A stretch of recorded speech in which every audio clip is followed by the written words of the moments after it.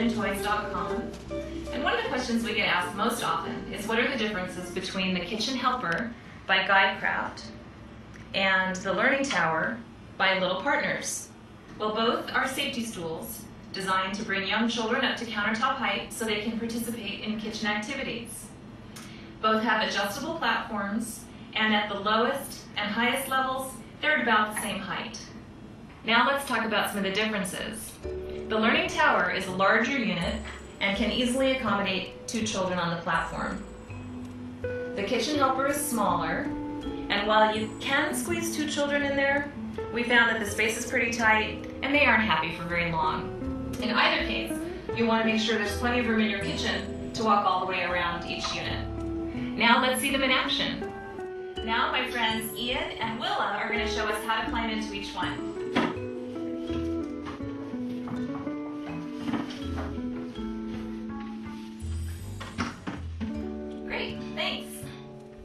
And now Ian and his brother Ben are going to show us how two kids can fit in the learning tower at the same time. Ready, Ben?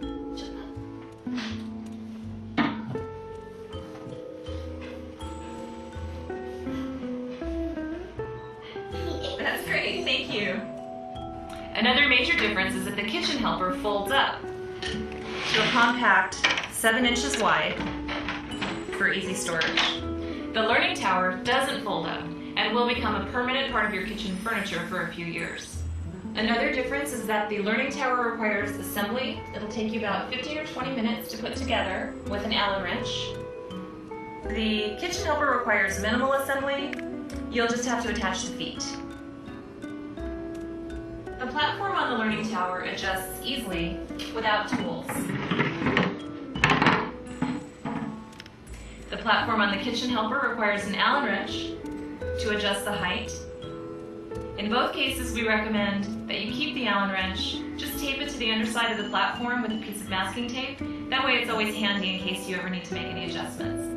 For more play value, the kitchen helper has fun shapes cut out on the side. There's a chalkboard on one side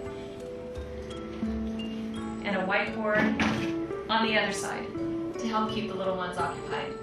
The learning tower comes with a play cloth that can be draped over the top to turn it into a playhouse or a puppet theater. There are also two accessories that can be purchased separately. One is an easel that hangs on the side of the learning tower like that. There's a chalkboard on one side and a dry erase board on the other side. The other accessory is a playhouse kit that sits on the top of the unit and turns it into a puppet theater or a playhouse. The finish on this learning tower is natural and the finish on this easel is cherry. In addition to these two finishes, both the learning tower and the easel are available in seven other colors to match your kitchen. So to summarize, the kitchen helper is ideal for the smaller kitchen or if you need to be able to put it away easily. The learning tower is suitable for the larger kitchen or if you plan to have two children sharing the space, as it is larger and will become a permanent part of your kitchen furniture. Thank you for watching. Uh, please feel free to give us a call if you have any questions about these two great products, or you can visit us on the web at www.heirloomwoodentoys.com.